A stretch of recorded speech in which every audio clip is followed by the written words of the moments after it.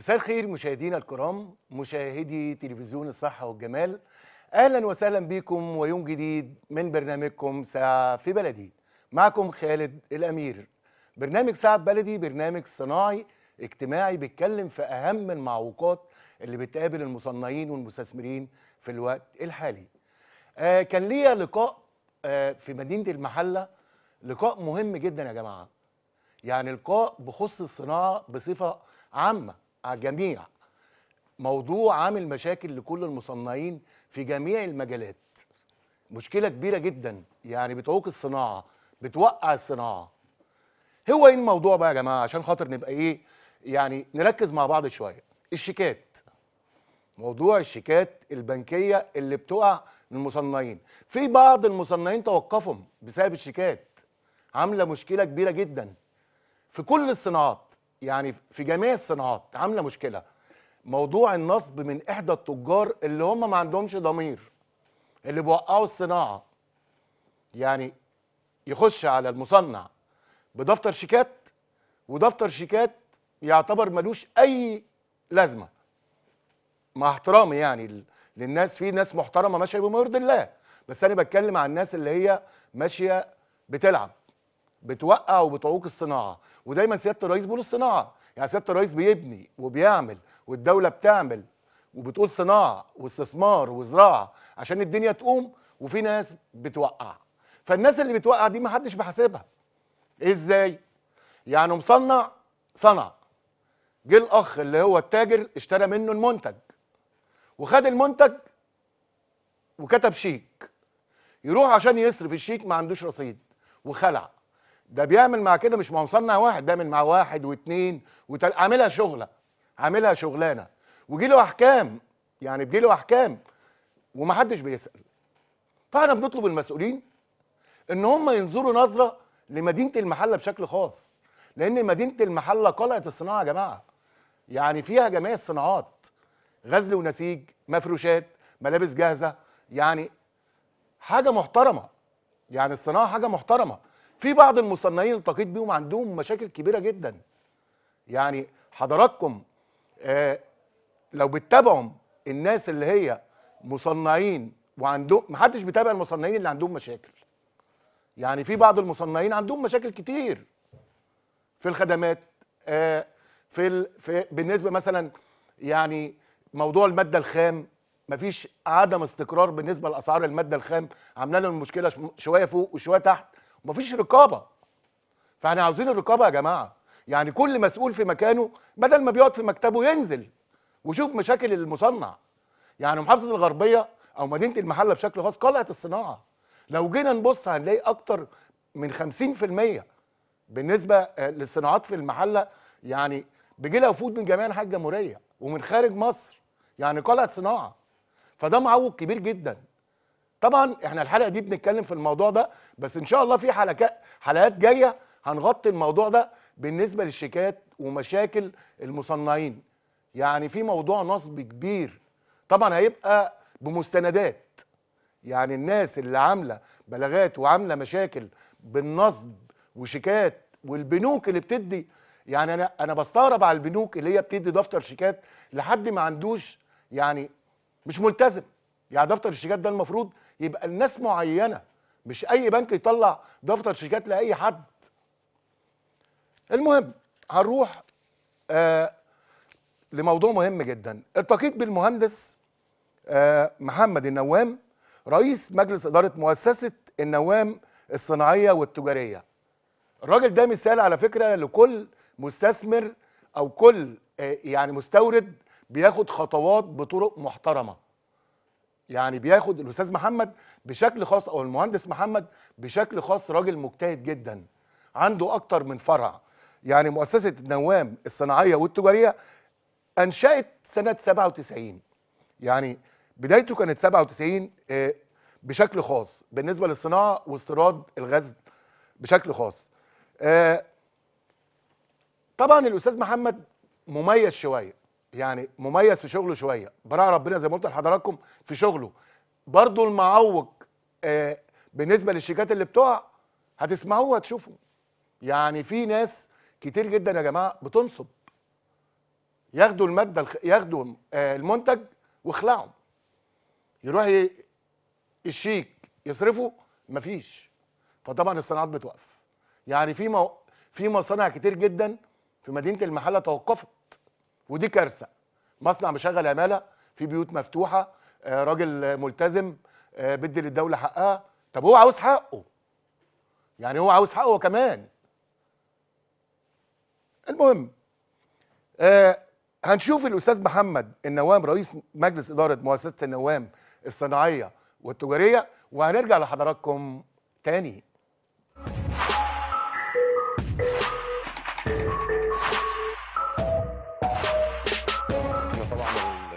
بنستورده الأول ال- الغزول من بره.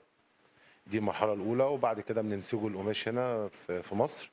ومن ومن بعد كده بنحوله له قماش وبيتباع للمصانع كمواد خام للتصنيع و وللمواد- للمصانع المفروشات ومصانع ال- الملابس وكده يعني. تمام. بدايتك يا فندم كانت إمتى يعني بشكل خاص في في المجال بشكل خاص؟ بدايتي الأساسية كانت بعد وفاة والدي في سنة 97 وبعد كده كملت المسيرة بعد والدي لحد سنة 2008 اتجهت لاستيراد الأقمشة في 2008 لحد 2016 وبعد كده حولت لتجارة النسيج بعد ما الرئيس آه، عبد الفتاح السيسي قفل موضوع المنتج النهائي والأقمشة لازم تكون صناعة مصرية. وده كان اتجاه كويس جدا في الوقت ده. فأنا ات- اتجهت لاستيراد الغزول بحيث يبقى إن أنا أصنع القماش في مصر بدل ما أستورده من بره. بحيث إن المصانع تشتغل يبقى في يد عاملة ودعم ودع وتدعيم الصناعة بالقماشه والمنتج المصري وفعلا الحمد لله نجحنا فيه الحمد لله يعني. آه، حضرتك بقى آه، المعوقات اللي بتقابل حضرتك في المجال نفسه بشكل خاص إيه المعوقات يا أستاذ محمد؟ آه، هو المعوقات يا فندم إن إحنا بعد ما الحمد لله الرئيس قفل المنتج النهائي آه، وفعلا البلد ابتدت تتغير بدأنا نطوره في الصناعة. وهو ابتدى يدعمنا بصراحة بموضوع الخ... بموضوع ال- البنوك ال 5% وده كان فعلا حركة تدعيم كويس جدا للصناعة. و المشاكل اللي قابلتنا بعد كده للأسف يعني حضرتك لما دعم الصناعة بال 5% والتجار ابتدت أو المصانع ابتدت تاخد ال 5% وي... ويدعموا شغلهم حصل مشكلة بس هي دي مشكلة كبيرة شوية إن ال- المصنع ابتدى يصنع شغل. وابتدى يطلع منتجات شغل فما لقاش السوق المقابل إن هو ياخد الشغل يعني ودي كان أنا بس كان محتاج محتاجين تدعيم من الحكومة أكتر في النقطة دي يعني ولكن هستثيرها يعني بجانب المشكلة يعني ده دي فكرة مطروحة يعني. لازم الحكومة تدعم قلعة الصناعه اللي هي المحلة الكبرى. يعني دلوقتي إنشاء معارض دايمة سواء في مصر أو خارج مصر والكلام ده ما بيحصلش. الصين بتفتح معارض في كل حتة في العالم. بتعرض منتجاتها. الموضوع ده تسويق كويس جدا. إحنا المنتج المصري غايب عن السوق العالمي. آه، إلا بعض المصانع اللي هي بتورد بره كتصدير. ولكن إحنا ما عندناش معرض دايم. المحلة كقلعة صناعه ما عندهاش معرض دايم لمنتجاتها. المفروض تبقى فيه مثلا قطعة أرض المحافظه ت- آه، تخصصها للمصنعين كلهم في المحلة بحيث يعرضوا منتجاتهم. يبقى في أسواق خارجية تيجي تتفرج على على المصانع اللي هنا. وتتفرج على شغل المصانع اللي هنا. إحنا علينا بالمنتج جودنا الخامات آه، دعمنا المصانع بخامات آه، قد تكون منافسة للمستورد. ولكن آه، عدم طول انت انت مفيش اظهار للمنتج النهائي مفيش اظهار لل- للمصانع اللي في المحلة. ولكن لازم الدولة تدعمهم بلازم عمل معارض في الخارج وعمل معارض في كل على الأقل في الدول العربية مش هنقوله حتى بره في الدول العربية مفيش معارض دايمة لش- لشركة للمحلة. يعني لقلعة الصناعة في مصر. لازم يكون في معارض موجودة في كذا دولة في وبتنظمها الحكومة وهي اللي مسؤولة عنها. وحتى بدعم من المصانع هم مش هي... مش هيرفضوا ده. يعني انت دعم التصدير. لأن التصدير هو أساس توفير العملة الصعبة زيادة العمالة. نجاح الصين وأنا طبعا من سفري لبره للصين فعلا شفت هناك إنشاء المعارض الدايمة. يعني تقريبا الصين بتعمل معرض كل شهر. في ال 12 شهر وكل مقاطعة لوحدها. المقاطعة دي بت- بتمتاز مثلا بالإكسسوار العربيات ال- المقاطعة دي بتمتاز بالملابس. كل مقاطعة على حدة بتعمل معرض دايم طول ال 12 شهر 10 أيام كل شهر. فبتستقطب ناس من دول تانية بتيجي تتفرج وده سبب نجاح الصين بصراحة. ده تدعيم الصناعة. تدعيم الصناعة مش فلوس بس. تدعيم الصناعة إنشاء مراكز أو أماكن لعرض. الحاجات اللي بتتصنع. يعني فده دي المحلة محتاجاه. قلعة الصناعة في مصر إزاي ناقصها حاجة زي كده؟ آه، أنا طبعا ليا مصانع في العاشر وليا مصانع في العبور ولكن المحلة شيء مختلف نهائي. المحلة بتضم أكبر عدد من العمالة في مصر كلها أكتر من 30% من العمالة في مصر موجودة في المحلة في في في من- في قطاع الغزل والنسيج أو قطاع مصانع المفروشات أو الملابس. فدي محتاجة تدعيم ان الدولة تخصص أماكن في, في حتى في, ال- في, في, في أو في مرة تع- تعمل معارض بره في خارج مصر والناس تعرض منتجاتها.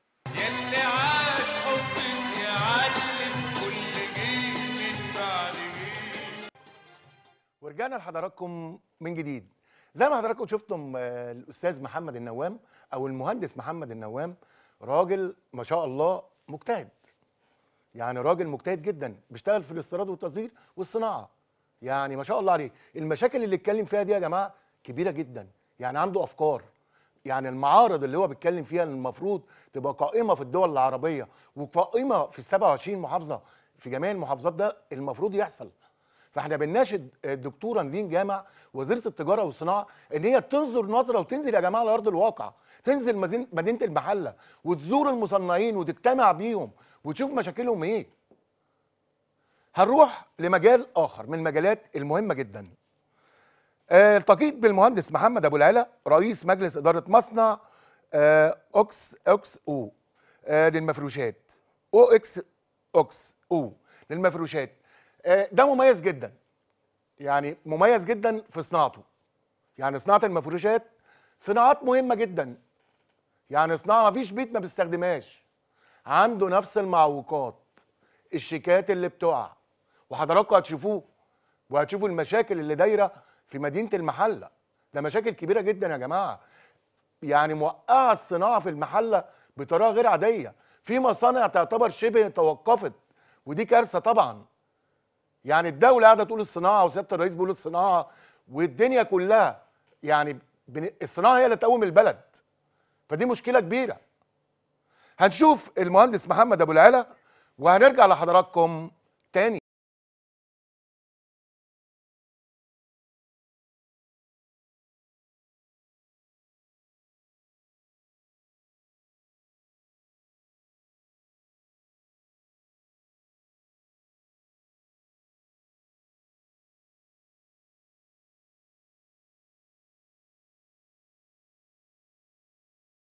فطبعا أي حد بيطلع اول أول تركيزه بيشوف بلده اتجاهها فين.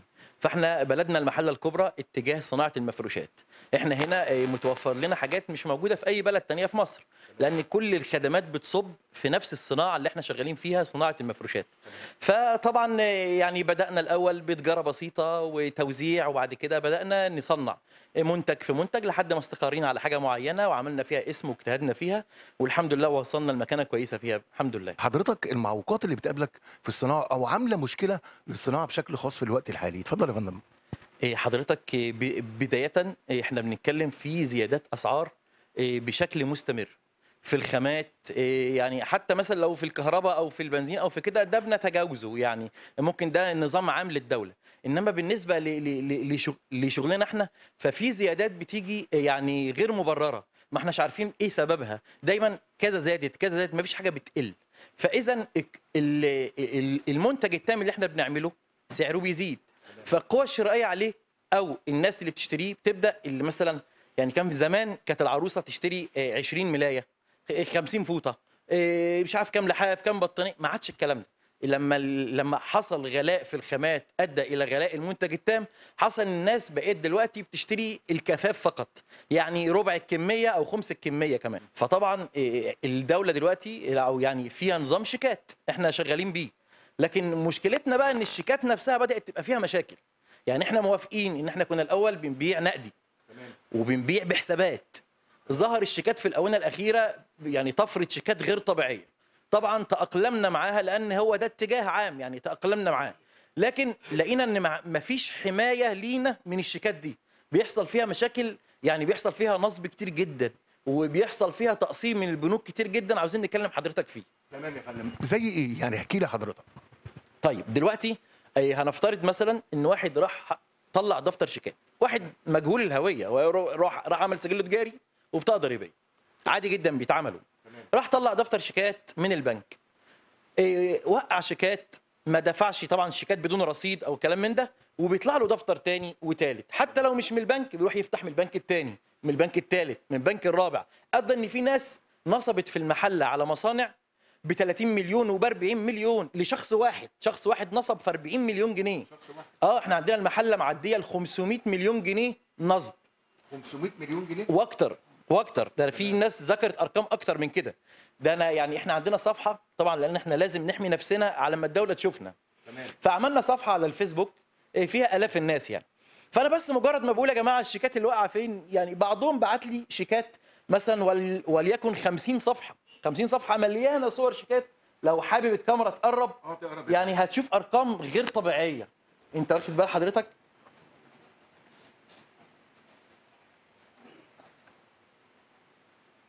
كل صفحة من دي فيها مئات الآلاف من الفلوس. يعني أنا معايا يعني كل دي شيكات يا فندم؟ يا فندم ده كتاب ده ده بس الناس اللي ما سألونيش انت عايزهم ليه. إنما إنما لو لو أنت عايز قدهم 20 مرة أجيب لك شيكات كتير واحكام كتير جدا احكام كتير جدا؟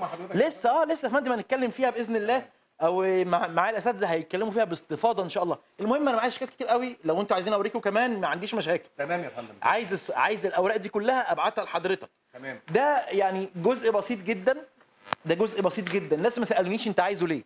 فما بال بقى لو قلت أنا رايح أسجل في التلفزيون فكان هيجي لي الصراحة كنت كنت هجيب لك مجلدات. فأرقام غير طبيعية. يعني دلوقتي الدولة بتدعمنا بقروض. تمام. عملت قروض صناعية مخصوص 5% 5% ليه؟ عشان نفوق.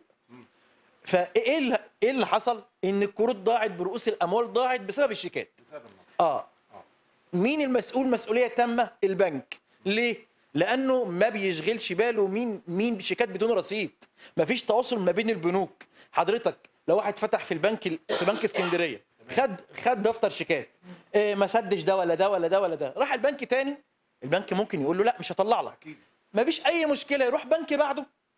أو يعني مش عايز أقول لك أسامي. كل بنوك مصر مفيش تواصل ما بينهم. يروح بنك يطلع دفتر ينصب بيه. يروح بنك يطلع دفتر ينصب بيه. يروح بنك يطلع دفتر ينصب بيه. يقدر ينصب بال... بال... بال... بالشيك... بالشيكات دي كلها بملايين. ما عادش بقى ألافات ولا ملايين. اذا إحنا بنستنزف رؤوس أموالنا بتضيع. رؤوس أم... البلد نفسها أنت مش متخيل لو نزلت عملت لقاء دلوقتي وقابلت عمال أو أصحاب مصانع أنت هتحزن عليهم. الناس خلاص الناس الم... في مصانع كتير قفلت. وفي م... طبعا طبعا. وفي مصانع نفسها تقنن أوضاعها وتعمل سجل وتعمل أوراق مش عارفة عشان هي مش عارفة بكرة فيها إيه. المصانع بتقفل وبيتنصب عليها. يلي عاش حبك يعلم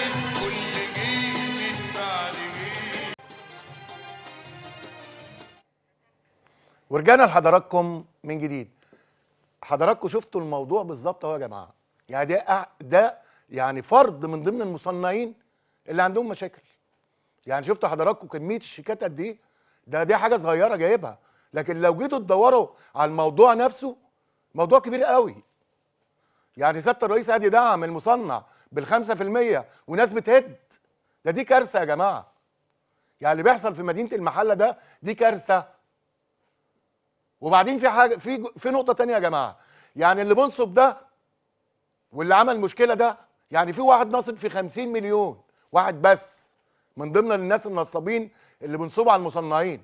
في واحد بس ناصب ب 50 مليون. يعني يتحبس ويطلع ويعمل معارضة ويطلع ويعمل معارضة ويطلع وفي الآخر يخلع. وثلاث سنين وخلاص. يعني بو يعني في إحدى المصنعين يقول لي أغلبية الناس اللي بتنصب دي موجودة في الشارع ما حدش بيسأل عنها.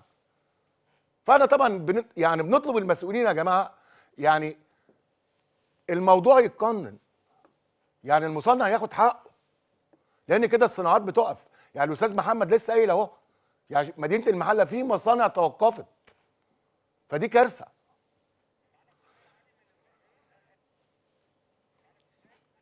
معانا آه ألو. ألو أستاذ علي.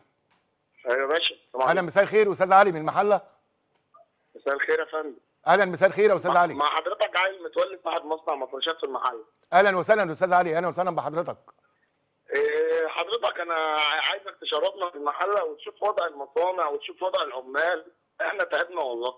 إحنا إنتاجنا بقينا بنخف وبقينا بنشتغل ثلاث أيام في الأسبوع. تمام. تمام يا أستاذ علي سامعك ألو أستاذ علي.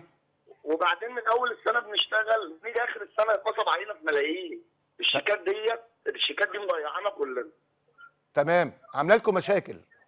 عاملة لنا مشاكل جامدة عاملة لنا وسحبت راس المال كمان بتاعنا. وسحبت راس وموضوع وموضوع الخامات اللي بيرمى ده يا فندم إحنا عايزين رقابة عليه برضه. يعني يعني يعني يعني اما اما اما, الخام يغلى أما الخام يغلى في ظرف شهر ثلاث مرات. المستهلك هيستحمل منين ده كله برضه؟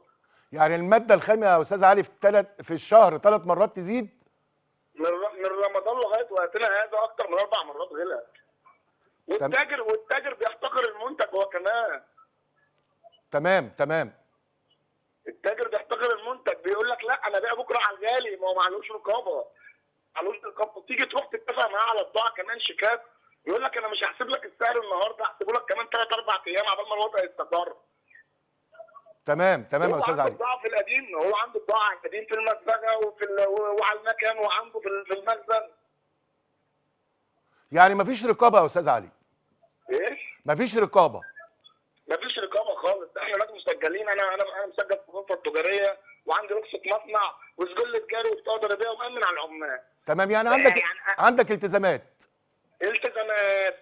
أنا دلوقتي البنك ده أنا عايز أعرف هو بيطلع دفتر شيكات لأي حد إزاي؟ أنت المفروض يا باشا بتطلع دفتر شيكات يبقى أنت بتلتزم من العميل بتاعك ده. البنك ده الفلوس دي تمام يا أستاذ علي. أستاذ محمد فلان لسه مكلم حضرتك من شوية. إحنا منصوب علينا في المحل السنة اللي فاتت من شخص واحد. في أكتر من 30 مليون جنيه. من شخص واحد 30 مليون جنيه؟ من شخص واحد. ومن شخص وأنا وأنا ممكن أسمي كمان أنا مش هخاف أسميه اسما كمان. اضيع ناس وحبس ناس في المحل. تمام، مش- اتقفلت. تمام يا أستاذ علي. مش مهم أسماء. إحنا بس عاوزين نعرف الموضوع إيه بالظبط. المو... المو... الموضوع اللي الاستاذ اللي الأستاذ دوت كان بينزل المحل يمضي شيكات مع الناس.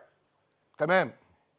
تمام؟ كنت شغل خد الطقم مثلا مثلا مثلا لو يكن خد الطقم مني ب 10 قروش. تمام.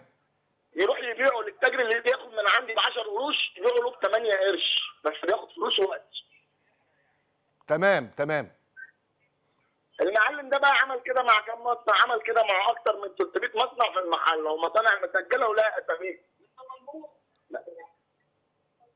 أيوه يا أستاذ علي سامع حضرتك.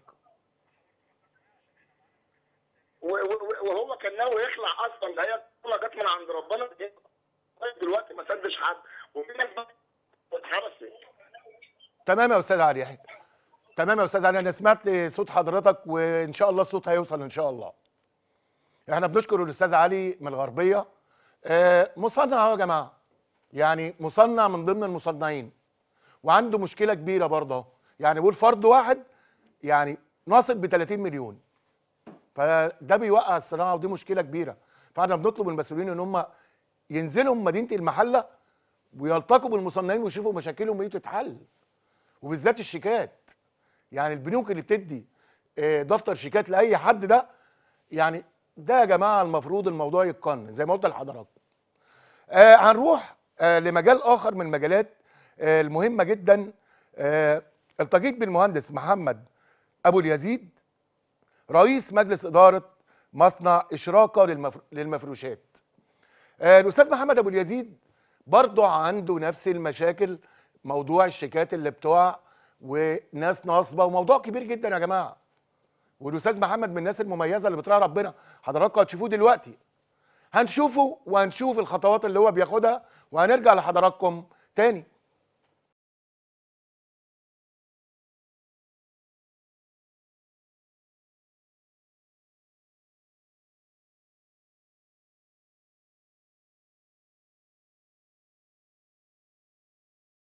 إحنا يعني عندنا صعوبات كتير قوي مش مش خاصة حتى بمصنعنا بس يمكن خاصة ب- بمدينة المحلة.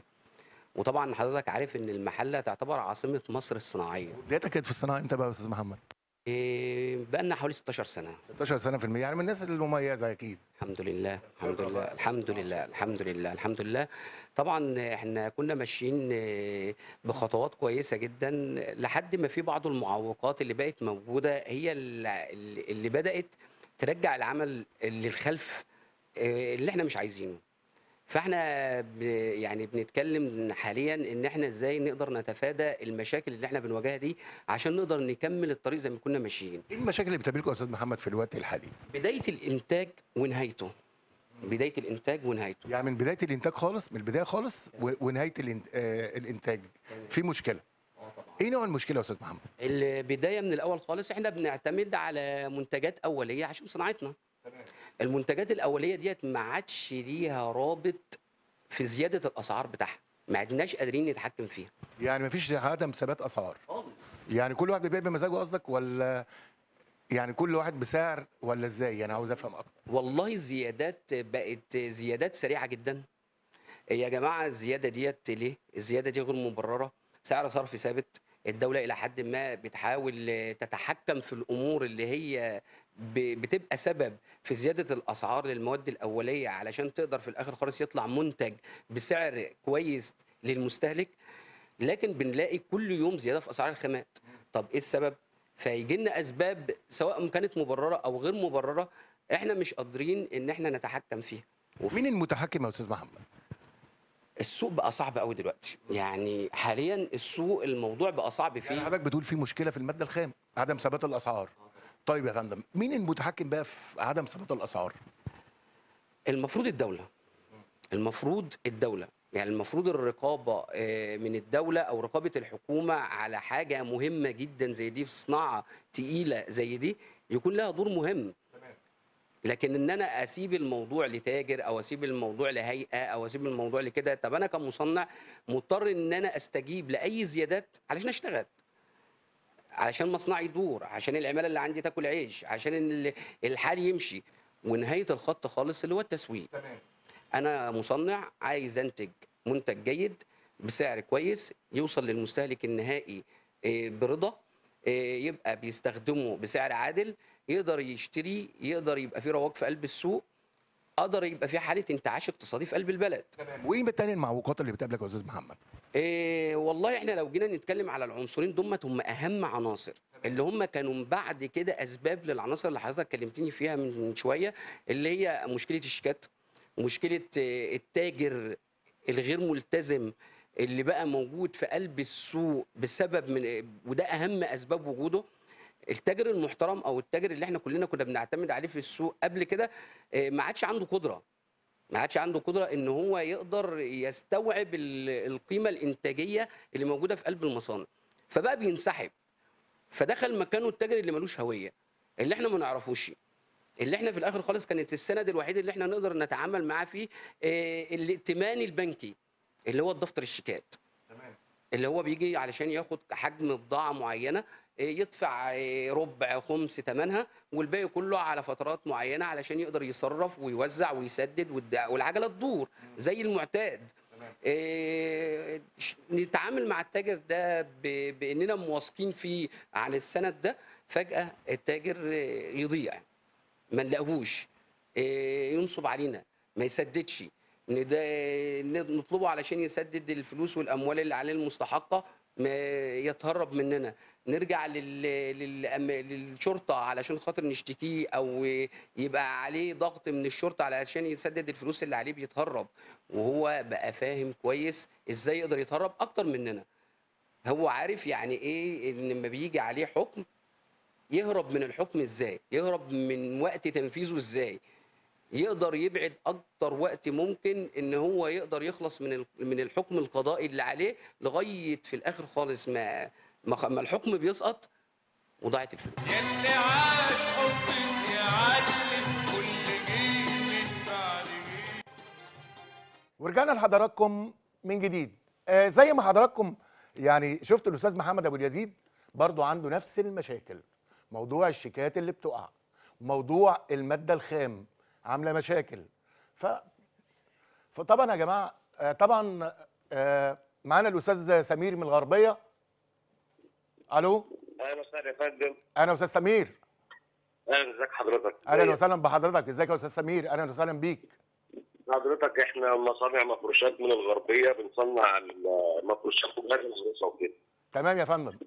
نفس المشاكل اللي ذكرها أستاذ محمد النوام وذكرها أستاذ محمد أبو العلا هي الفكرة كلها اللي إحنا عندنا ال- ال- البلد كويسة وعندنا عمالة عايزين نشغلها يعني كل مصنع فينا عنده 60 عامل 70 عامل فاتحين بيوت. تمام. اللي بتجهز اللي بتجهز بنتها واللي عنده عيال بيصرف عليهم واللي ساكن.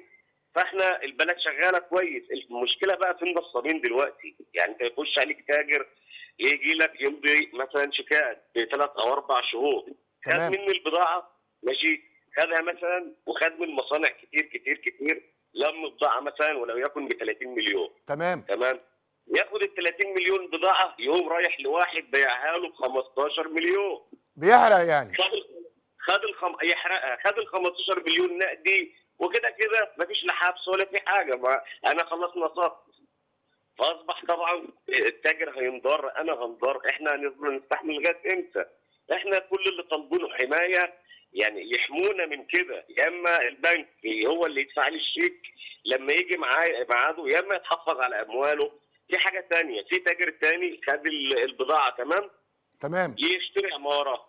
ماشي يقول لك اصبروا عليا شوية. يشتري أرض.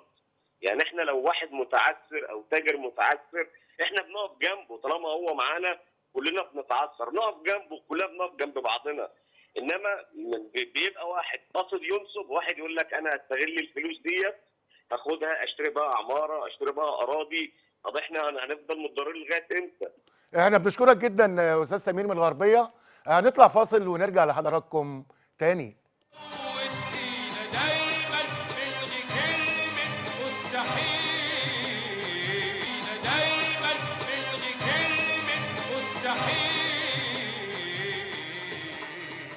ورجعنا لحضراتكم من جديد. آه زي ما حضراتكم يا جماعة آه شفتم المشاكل اللي بتقابل المصنعين في في مدينة المحلة أو في محافظة الغربية مشاكل غير عادية.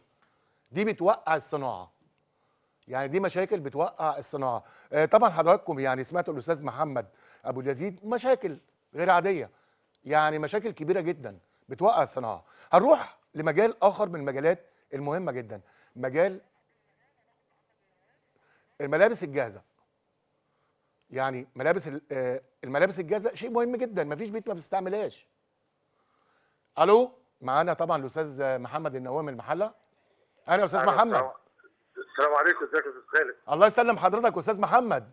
ازي حضرتك يا أستاذ خالد؟ وأنا سعيد بالبرنامج بتاع حضرتك و بسم الله ما شاء الله الحلقة جميلة وأنا شايف ال- الوضع كويس والناس بتتكلم فعلا في المشاكل و...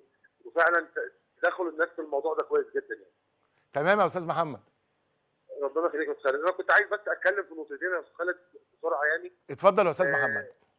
دلوقتي أنا موضوع القانون ده يا أستاذ خالد آه، ده لازم تعديله قانون الشيكات لأنه ده قانون قديم. تمام. والموضوع المعارضات اللي بتتم يا أستاذ خالد أكتر يعني أكتر من معارضة لو توصل لاربع معارضات ده إرهاق لوزارة الداخلية وإرهاق لل- لوزاره العدل. تمام. سواء قضاي أو وكلاء نيابة أو ضباط شرطة أو آه، إدارة بحث أو كلام كل الكلام ده ما ده إرهاق للموضوع ده. ليه يا أستاذ خالد؟ في تعديل قانون في الإمارات إن أي حد من اللي هو من من الجماعة اللي بي- بيعملوا بينصبوا أو بيعملوا شيكات مرتدة أو بيتحايلوا على القانون بالشيكات ال- النصب على التجار أو التحايل عليهم في عقاب دلوقتي نزل في الإمارات إن هو بيتحجز على كل حاجة عنده لحد ما يسدد الفلوس لل- للجهة اللي هو واخد منها الحاجة. يعني الشيك اللي مصدره ده يتحاسب عليه. ليه إحنا ما يبقاش عندنا قوانين حازمه ليه تمام. نسيبوا الأمور فيها أكتر من أكتر من جلسة وأكتر من قضية ويبقى ليه ما كنتش الحكم سريع فيها؟ بدل هو سند سند رسمي. مدير يعني يدين الشخص اللي هو عامل تحايل أو على القانون أو على المستند رسمي بالوضع ده ونصب فيه. ليه ما يكونش فيه إجراء سريع مفيش مماطلة فيه. أنا عارف يا أستاذ محمد إن أنت عندك أفكار جميلة. على فكرة يا جماعة الاستاذ محمد النوام من الناس المجتهدة من الناس ال- الوطنية اللي بتحب البلد. يعني الاستاذ محمد النوام من الناس الوطنية اللي خايفة على الصناعة. يعني شوف حضراتكم بيتكلم في نقط مهمة جدا. الحلقة الجاية بإذن الله معانا الأستاذ محمد النوام في حلقة مباشرة على الهواء. نتكلم يعني طبعا هو أدرى لأنه طبعا هو قائم في محافظة الغربية. يعني عنده استثماراته في بعض المحافظات والمدن الصناعية وفي مدينة المحلة. فبإذن الله لينا لقاء خاص مع الأستاذ محمد النوام. آه أنا التقيت آه بالمهندس صلاح يوسف رئيس مجلس إدارة مصنع بي بيبو للملابس الجاهزة. الملابس الجاهزة طبعا حاجة مهمة جدا. عنده نفس المشاكل. يعني الأستاذ صلاح عنده مشكلة كبيرة جدا وهو واقع فيها. يعني في واحد ناصب بمبلغ كبير جدا. يعني حاجة يا جماعة أنا عن نفسي قاعد زعلان. يعني أنا خالد الأمير قاعد دلوقتي زعلان على على المصنعين والبيوت اللي بتتقفل والعمالة اللي بتقعد في البيت ومشاكل كبيرة. هنشوف المهندس صلاح يوسف وهنرجع لحضراتكم تاني.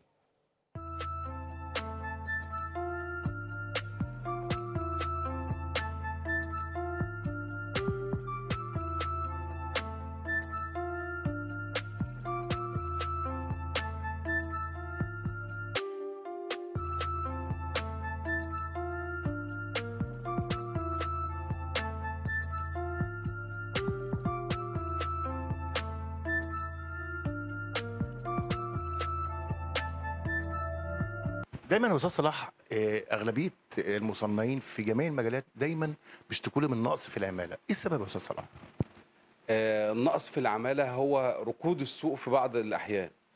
فالعامل بيضطر عشان يتصرف اللي هو يدخل آه، يصرف على بيته اللي هو يشوف له أي دخل تاني. فبيضطر يسيب مهنته ويروح لمهنة تانية.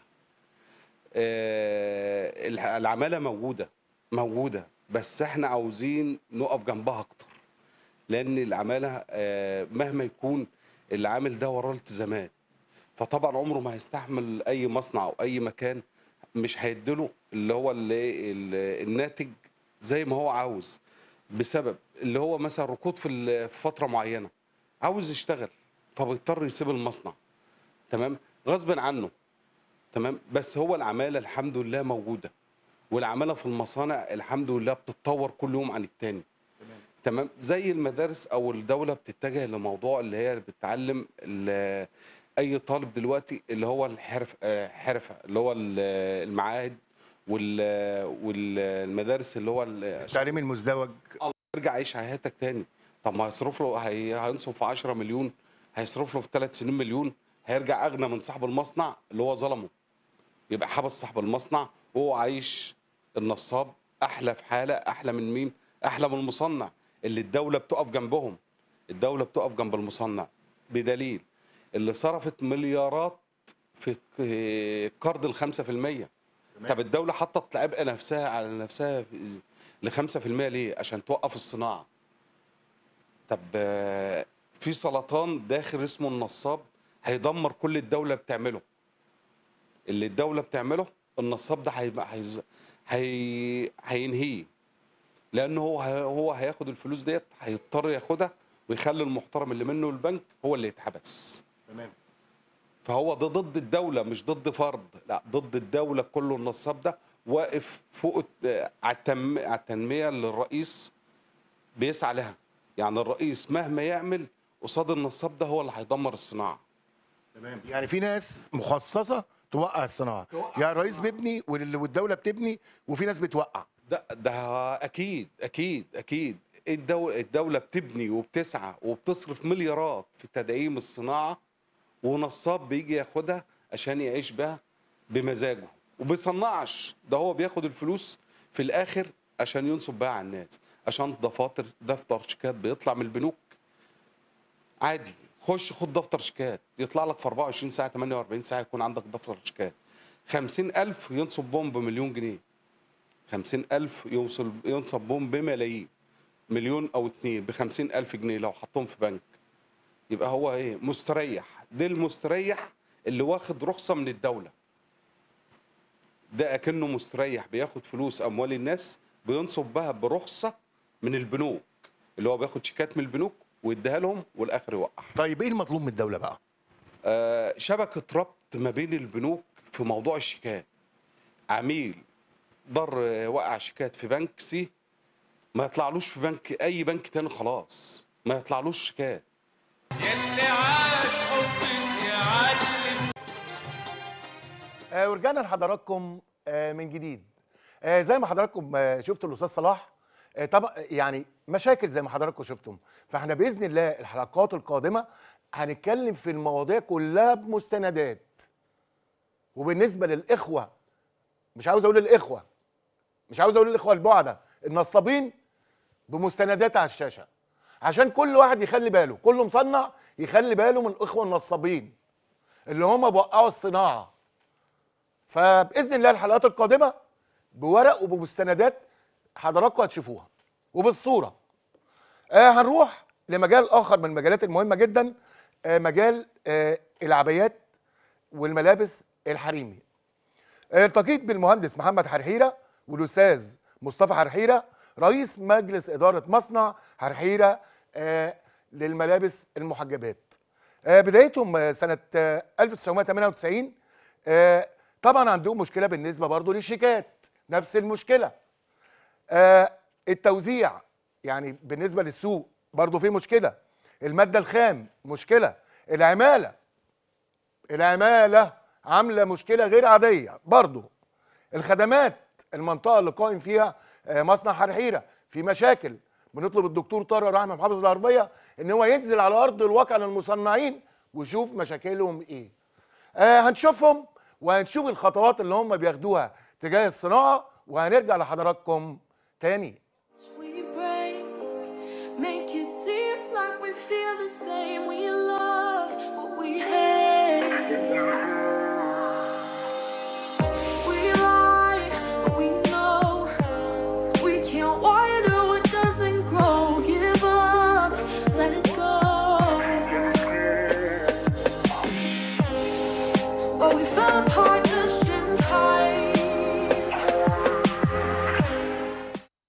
شرفنا إحنا الأول بدأنا بشغل نجيب مكانتين وبدأنا مصنعية وبعد كده جبنا اشتغلنا بتاع خمس سنين شغل مصنعية وبعد كده جبنا قماش وبدأنا نصنع لن- لنفسنا واحدة واحدة وبعدين ربنا كرمنا بتاع 10 سنين اشتغلنا في العباية وبعد العشر سنين بدأنا نشتغل في ال- الإسدال.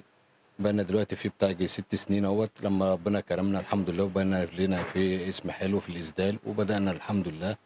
تمام يعني ولغاية الآن حلوين بس اللي هو دلوقتي هو اللي مناكف معانا الخامات والحاجات دي هي دي اللي تعبانة السنة دي جدا. تمام. يعني بدايتك من كام سنة يا فندم؟ بدايتنا من من تمن من تمن من 98 أول خطوة كنا شغالين بقى اللي هو الشغل اللي هو أنا شغال لناس مصنعية وكلام من ده. قلت اما هو أنا بقفل للناس. أما أنا أجيب حاجة وأبدأ أعمل لنفسي كده وأشوف ربنا رايد لي اللي أنا أكسب والكلام من ده ويبقى ليها اسم نكمل. بدأنا نشتغل أجيب بقى أنا وأقفل وأدي لإخواتي يبدأ يلفوا ويوزعوا في الدكاكين والكلام من ده والناس.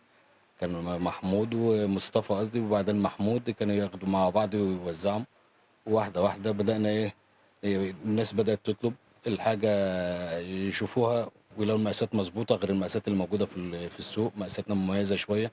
بعمل يعني ما باكلش من المقاس عشان إيه أكسب شوية. لا أنا مش حابين المكسب الكبير. أنا أهم حاجة عندي الزبون اللي يبقى مرضي. تمام. بتراقب ربنا في آه، الحمد لله. ملك حمد شكر. آه.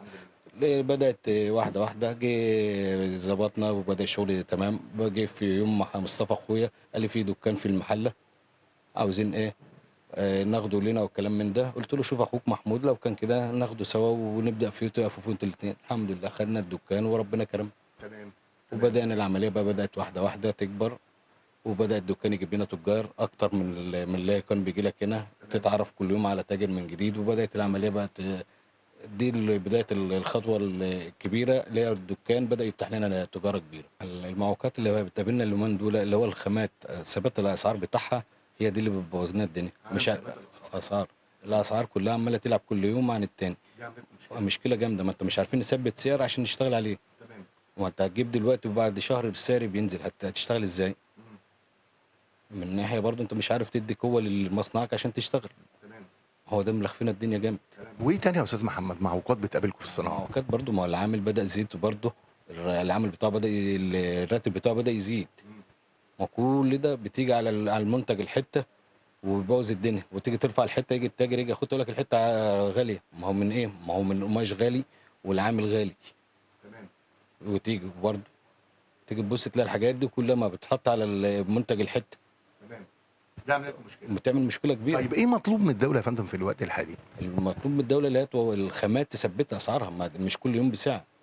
بس دي أهم حاجة. لو ظبطت ديت في الدولة دي كلنا يعني مشان الواحد كل المصانع هتظبط وهتطلع إنتاج أكتر وه- وهتوفر الشغل جامد. وهتعرف تنافس بيه بره. إنما الثبات مش ثبات الأسعار مش عارف أنت تنافس. يلي عاش حبك يعلم هي بداية التصنيع معانا آه، الأول كنا شغالين طبعا آه، شغل مصنعي يعني للغير اللي هو الشغل للغير. آه، بعد فترة بدأنا نجيب شغل على الخفيف كده ونبيعه بإيدينا مثلا. كأسواق مثلا بنبيعه قطع يعني أحجام صغيرة.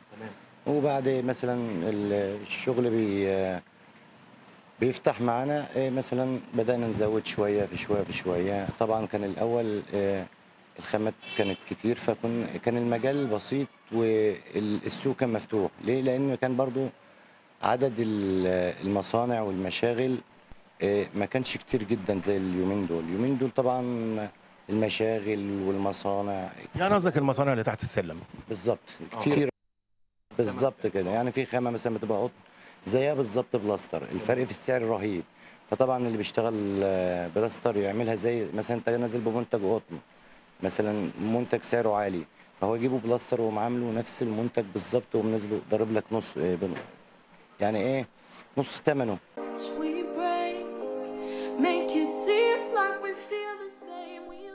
ورجعنا لحضراتكم من جديد. زي ما حضراتكم شفتوا المهندس محمد والأستاذ والأستاذ مصطفى حرحيرة ناس من الناس الملتزمة جدا تاخد خطوات تجاه الصناعة. آه بالتوفيق إن شاء الله آه الأستاذ محمد حرحيرة والأستاذ مصطفى حرحيرة ولينا لقاءات أخرى إن شاء الله معاهم بإذن الله. آه طبعا الحلقة دي مضغوطة شوية عشان التفاصيل اللي فيها كتير. يعني التفاصيل اللي فيها كتير جدا. آه فبإذن الله الأسبوع القادم هنعمل موضوع كبير جدا بالصوت والصورة بالنسبة آه، للفيروس. الفيروس اللي موجود فيروس النصابين المتداولين في مدينة المحله ومحافظة الغربية وموقعين الدنيا كلها. يعني محافظة الغربية من محافظات قلعة الصناعة في مصر. آه الأسبوع ده آه أو الأسبوع اللي فات التقيت بالمهندس آه عبد الرحمن عبد الرحمن مندور رئيس مجلس إدارة شركة نقاء الزيوت الطبيعية. ده راجل براعي ربنا جدا في صناعته. الزيوت الطبيعية حاجة مهمة جدا يعني بتشفي الإنسان. لو عنده مشاكل يعني مثلا في الشعر في المعدة يعني زيوت محترمة. الراجل ده ما بيلعبش شغال بمنتج 100% هنشوفه وهنشوف الخطوات اللي هو بياخدها تجاه الصناعة وإن شاء الله الأسبوع القادم أشوفكم على خير وبرنامجكم ساعة في بلدي. الأول كان آه، الفضل يرجع للباشمهندس نبيل المصري في الشغل ده. آه، وبعد كده هو راح اشتغل في أكتوبر ربنا يزيده وإحنا بدأنا هنا إن شاء الله في نقاء.